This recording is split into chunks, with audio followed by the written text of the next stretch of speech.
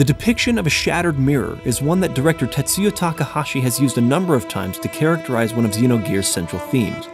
In addition to the quote featured on screen, the script book for the game is titled Thousands of Daggers, and the song used in the ending credits contains the same symbolism in both its name and content. Even the battle screen transition exhibits the same imagery.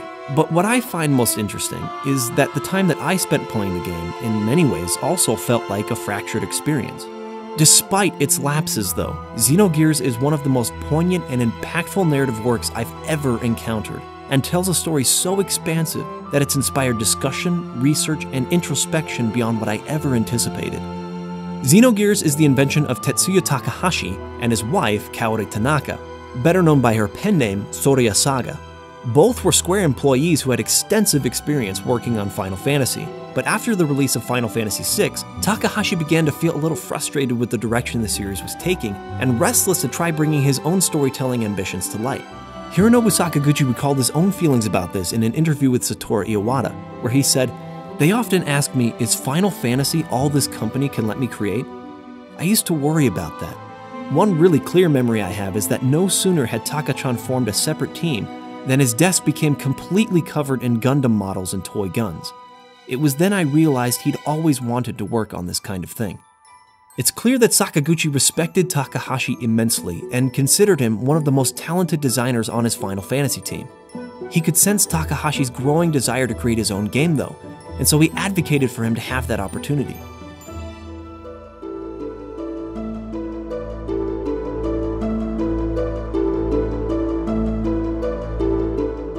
Originally, Xenogears began as a script proposal for Square executives to consider as they searched for ideas for Final Fantasy VII. In an interview with Siliconera, Soraya Saga elaborates that while we were told it was too dark and complicated for a fantasy, the boss was kind enough to give Takahashi a chance to launch a new project. Then Takahashi and I wrote up a full screenplay which contained cutscene dialogues in final form, and thus the project was born. It's interesting to note that many of the reasons Square executives stated for rejecting Takahashi's proposal, including its dark, complicated story and science fiction elements, were eventually embraced for Final Fantasy VII, and there are several similarities that, while altered for the final game, still very much resemble the original pitch. Once Takahashi had received approval, however, development was by no means smooth sailing. In the same interview with Satoru Iwata previously referenced, Takahashi states that 90% of my team were actually new kids who didn't know the first thing about 3D. The most difficult thing was the psychological side, helping people adjust to the team, talking through their worries and concerns with them, and so on. It was then that I realized that Sakaguchi san had been dealing with this kind of thing all along. In another interview, he recounts that with Xenogears, in the very beginning we started from the point of making a sequel to Chrono Trigger, but as various arguments from the publisher piled up, some practical difficulties came up. Thanks to Sakaguchi san's great efforts on our behalf, we were allowed to make an original title. As the team was given the green light to move forward on an entirely new IP, codenamed Project Noah, Final Fantasy VII was already in production alongside it, and the budgetary difference became immediately apparent to Takahashi. I can imagine how frustrating it would have been for him, attempting to create something so visionary and ambitious with what I think we can safely assume was a much smaller allocation of funds. With an inexperienced team, limited capital, and an idea that was likely too expansive for its own good, it's no surprise that the team had a number of setbacks, which unfortunately is apparent in the final product.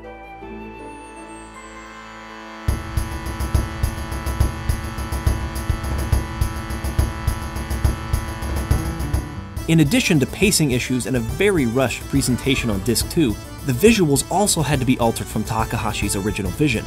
At the outset, he wanted to make the entire game in full 3D, but due to limitations of the hardware for a game of this size, ultimately decided to make the environments in 3D while representing the characters with 2D sprites. In the end, I feel this was a blessing in disguise because I actually appreciate the look of Xenogears quite a bit more than Final Fantasy VII, which basically took the exact opposite approach. I honestly think that Xenogears visuals are the perfect answer for the PS1 hardware when it comes to large-scale RPGs like this. And while Final Fantasy VIII and IX made incredibly effective improvements on the visual style of 7, there's just something about the hybrid design of Grandia and Xenogears that I find especially charming. I also found the cinematic techniques employed here, like camera movement and composition of specific shots, to be notably impressive. I think it's clear that not only the content of the story, which is excellent in and of itself, but also the method of delivery of that story was critical to Takahashi, which is why I feel that the second disc feels so clumsy in comparison to the first. There are dozens of rumors that have attempted to explain the discrepancy, and sifting through what has been confirmed by developers and what is simply hearsay can be difficult. But one thing is certain as deadlines began to draw near, the team felt a great deal of pressure.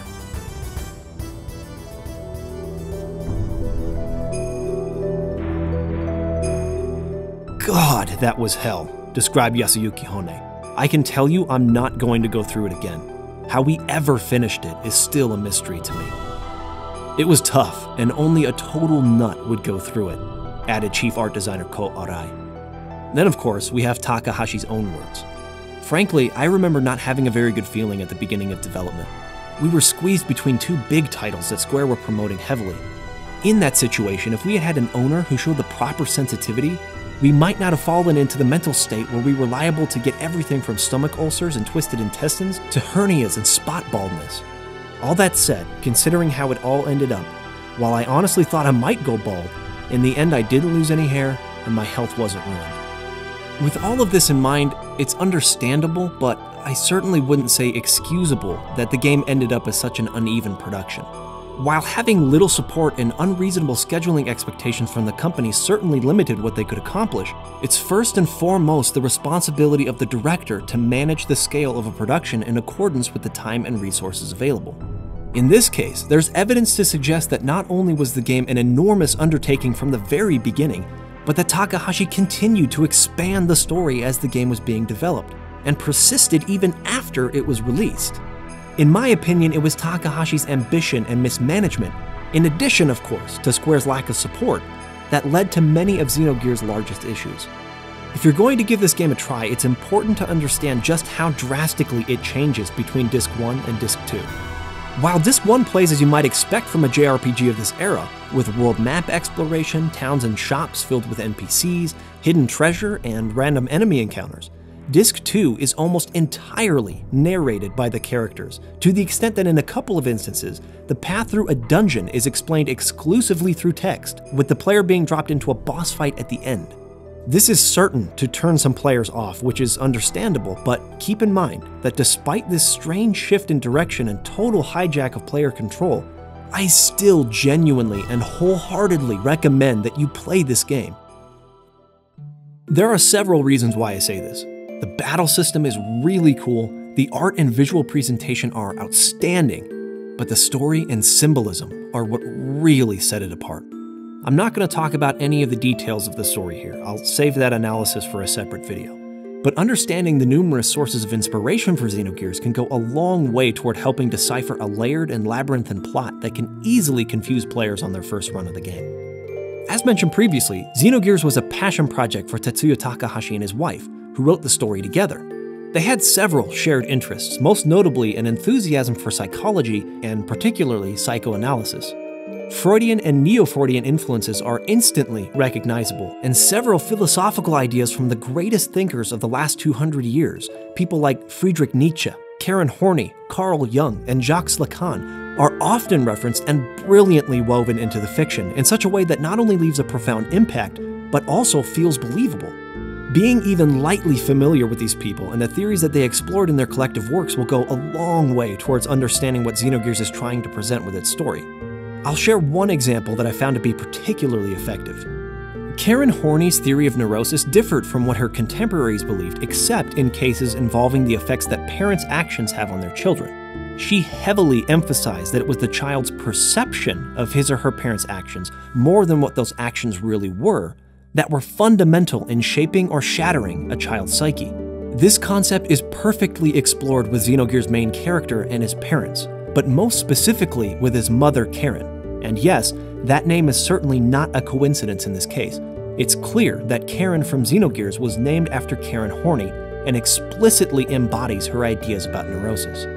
This is one example of many that demonstrates how Takahashi and Soraya were able to implement subtle but powerful layers of depth into the storytelling of this game. And even if the underlying concepts are not understood, the impact of those ideas can be felt through the violent and tragic nature of its delivery. It cannot be understated that the thematic content of Xenogears is heavy. It was inspired a great deal by the works of Arthur C. Clarke, especially Childhood's End, as well as other science fiction stories like Soylent Green. There are strong messages that criticize systematic racism and class warfare, the abuse of children by parents, and even some that question established religion and the blind faith of followers.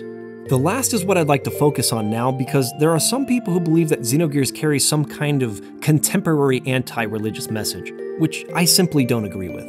It's important to understand that the religious content of Xenogears is inspired by Gnosticism and the religions that branched off of that school of thought, rather than traditional Christianity.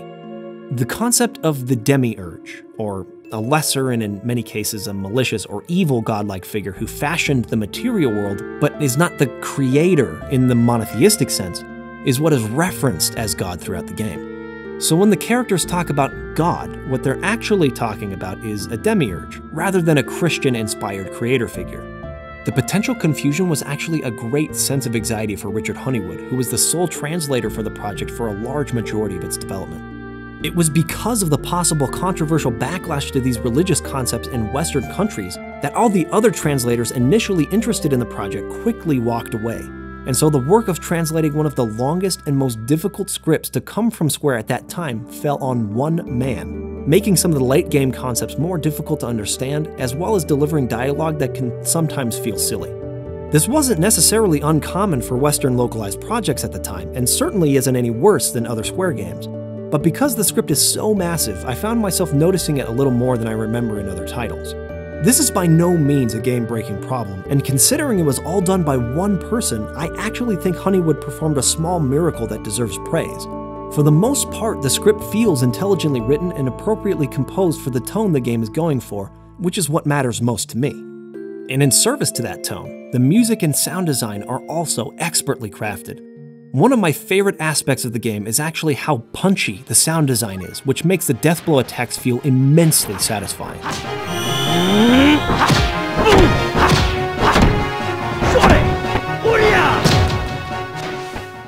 The music, though, is what some players I've spoken with consider to be the game's most impressive feature.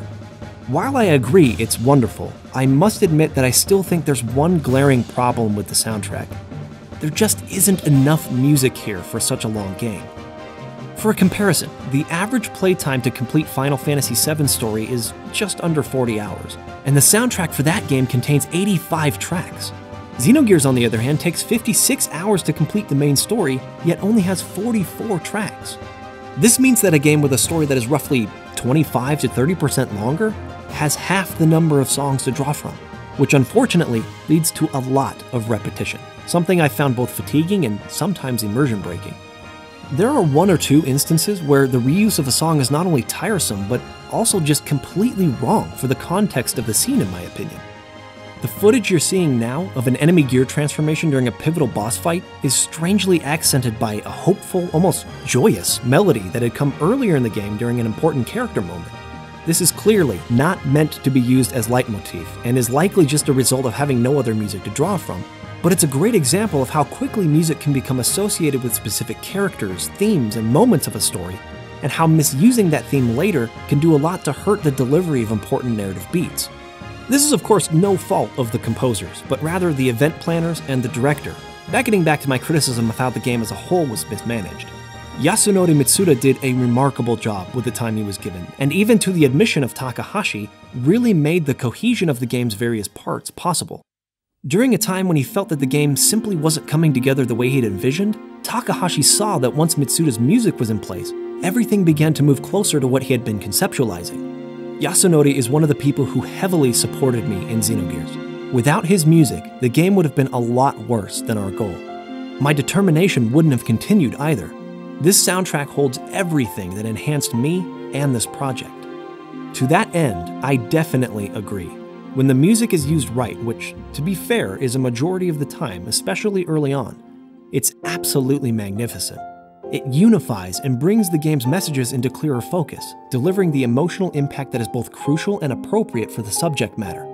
It's the kind of music that has a long lasting effect, that will stay with you throughout the day and cause you to think about the game even when you aren't playing it. To put it simply, it's effective, so much so that despite the fact that it can become repetitive, I still think it's one of the best soundtracks Mitsuda has ever produced.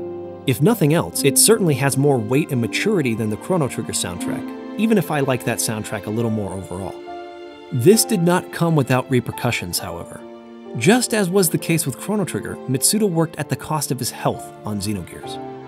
The developing took time, as I predicted, and I had the most difficult time.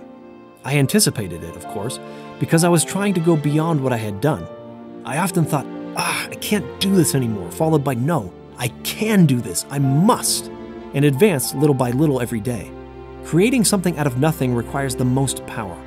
I haven't done anything but composing, but I think the same could be applied to anything. I often wonder, why am I doing such a painful thing? During his time at Square, this was simply the way that Mitsuda operated. After Chrono Trigger, he worked on Radical Dreamers, Front Mission Gun Hazard, and Tobal Number 1 before Xenogears, and on each one of these projects, he suffered significant health complications due to stress from overworking.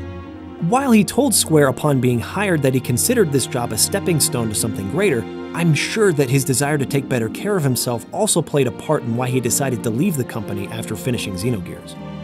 By the way, this should not be viewed as an expression of my love of music, because honestly, I was making up for a lack of skill. In any case, I was clearly not allowing myself enough time between work to allow my body to recover. As a result, by the end of each project, I was invariably rushed to the hospital. Having suffered through those experiences, I now place a higher priority on maintaining good health. In particular, I take care of what I eat, and though I was once a heavy smoker, I've since given up the habit. He returned in a freelance position to compose Chrono Cross for Square, but since then he's not worked with them on a single project. He did, however, work with Takahashi again on the first episode of Xenosaga. While Xenogears is clearly focused first on story, the gameplay mechanics are actually quite unique and overall fairly satisfying. In terms of exploration, the world is designed in full 3D, and the player is given the freedom to pivot the camera while looking for hidden paths and treasure. For the most part, this works beautifully, but there were a number of times when I felt like I couldn't get a very good look at where I was and what was around me due to large objects high above the ground that obstructed my view. There are also a lot of areas that can be confusing to navigate because everything in the environment looks so similar. Hallways and doors and more hallways that are essentially carbon copies of each other can make getting through certain dungeons really arduous. But from a design and a world building standpoint, these decisions actually make perfect sense. There are also some platforming elements that many players hate. I don't personally feel they're as bad as a lot of people make them out to be, but the controls certainly don't feel very tight. So I can understand why a lot of people struggled during these sections. The battle system is where the game certainly feels a bit more refined. The classic turn-based system of past RPGs from Square is accented with a button combo component that feels reminiscent of many 2D fighters from the early 90s, if not also a great deal simpler. In essence, while the command menu is basically the same as what you would expect from any other JRPG, the attack command doesn't just send the character into an automatic, generic melee animation. Rather, once selecting the attack command, the player then has a certain number of moves, represented by ability points, that can be performed depending on the character's level. At low levels, the character only gets 3 ability points per turn, which can be used by selecting either triangle, square, or X. Triangle is a weaker attack, but only uses one ability point, which in this example means it could be used 3 times per round. Square is slightly stronger, but has a lower chance of success and requires 2 ability points. X is the strongest attack of the three, but has the lowest hit percentage and requires 3 ability points. This seems simple enough at first, but it actually goes a lot deeper than that, and most of it isn't fully explained within the game itself. Basically, the way the system works is that each time you perform one of these attacks, the game is keeping track behind the scenes and accumulating a hidden form of experience that goes into unlocking death blows. Death blows are powerful, visceral attacks that require specific combo inputs, but before you can perform a death blow, you have to unlock it. Unlocking death blows requires gaining experience from inputting specific combinations of the triangle, square, and X commands. For example, there are actually four different animations for the triangle attack. Here's what they look like performed in sequence. I'll refer to each one of these four triangle attacks as T1, T2, T3, and T4. The square attack has two animations, which I'll refer to as S1 and S2. X only has one animation, so that's pretty easy. What this leaves us with are seven different experience pools, and each one of those needs to be focused on when unlocking death blows.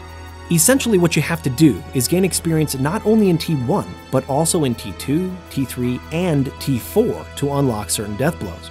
You'll also need to gain experience in both S1 and S2 if you want to unlock others. So for instance, we'll take phase Kake death blow, which is executed by inputting triangle, square, triangle, and X.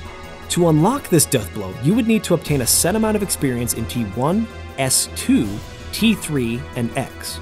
To unlock Suike, which is executed by inputting square, triangle, triangle, and X, you would need to accrue experience in S1, T2, T3, and X. None of this is explained in the game, which can lead to progress and learning new death blows feeling erratic or random. It's also important to understand that while you may have gathered all the experience you need to unlock your next death blow, there are still level requirements that will keep them sealed for low level characters. Once you understand how this works though, unlocking death blows becomes a lot less tedious, and it's always a satisfying feeling to finally put a new death blow you've unlocked to use, because these moves are freaking awesome. Another really cool thing you can do is cancel your turn when it comes up, which actually takes all the AP from that turn and stores it for your next turn. By canceling for multiple turns in a row, you can build up a great deal of AP, then decide to unleash it all in one round by stringing multiple death blows together, which can be very useful against enemies that automatically counter death blow attacks. It's seriously so satisfying to unleash a bunch of your most powerful attacks all at once for ridiculous damage, especially against some of the game's toughest bosses. In addition to this, though, you have the gear battles, which function a little differently from the standard ones. In the gears, you have a fuel gauge which is depleted as you use your triangle, square, and X commands, and death blows only become available as you unlock them on foot for each of your characters. On top of this, you have to build up your attack level in order to use the more powerful death blows in the gears. A lot of these smaller intricacies either aren't explained very well or simply aren't explained at all in the game but with enough experimentation or a quick visit to GameFAQs, it's not terribly difficult to understand and it's a lot of fun in practice. My favorite aspect of the battle system was the importance of equipment and accessories for the gears. There were certain fights where I got completely obliterated on my first attempt, but by paying attention to the types of attacks the boss used and equipping my gears accordingly, I found myself having a much easier time. There's also a lot of strategy in how the player chooses to upgrade the gears, with certain parts greatly increasing attack power but also providing a very low fuel gauge.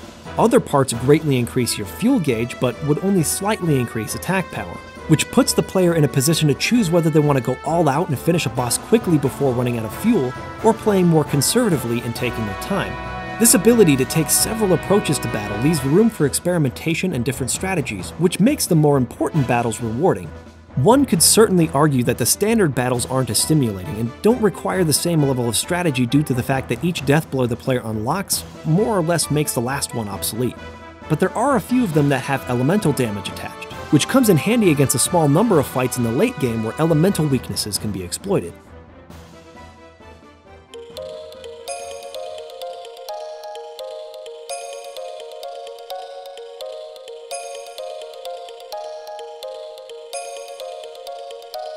Xenogears is an incredibly unique and deeply introspective game with lots of great ideas.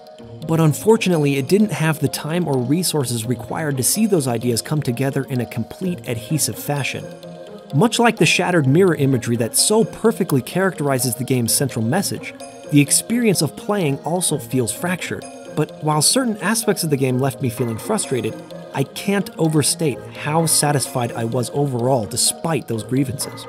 The delivery of the story, especially on Disc 2, feels clumsy and rushed, but the content of that story is so fascinating that I found myself willing to forgive it. There are enough of the battle mechanics left unexplained that it can make things a little confusing, but the ideas behind those mechanics were interesting enough to keep me engaged.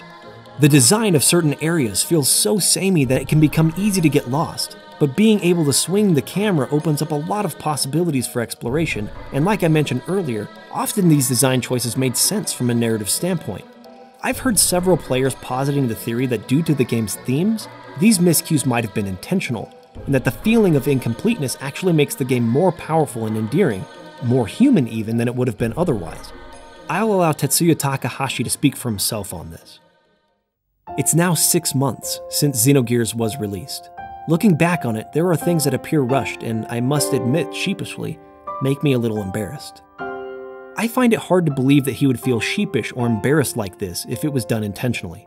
Additionally, though, if the game had been given more time to deliver the story in a consistent way, would its messages really have felt less impactful?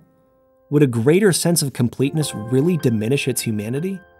I, for one, don't believe so, which is why I feel that this game, more than any other I've played, would benefit so much from being remade, this time being given the proper support and resources it deserves. However, whether a hypothetical remake is ever approached by Square, I must emphasize again that even in its original form, Xenogears is a wonderful game that I would recommend to anyone who is a fan of old school JRPGs. Despite all of its imperfections, it left a profound impression on me, and like I said earlier, inspired research and discussion on a level that surprised me. It's layered and complex in its philosophical content, keen and effective in its emotional power, and ultimately fun to play a majority of the time. It has an endearing cast of characters, unforgettable set pieces and scenarios, and some genuinely effective twists. It's an experience that once it sets its hooks in you is difficult to walk away from, and it's one that I'll not easily forget.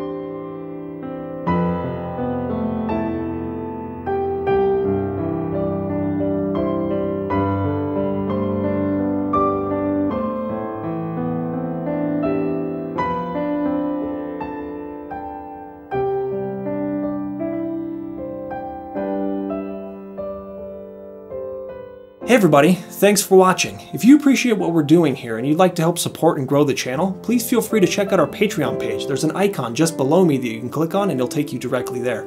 And if you're new to the channel and you'd like to see some of the other work I've done, I have my Final Fantasy reviews right here. Just go ahead and click on that card.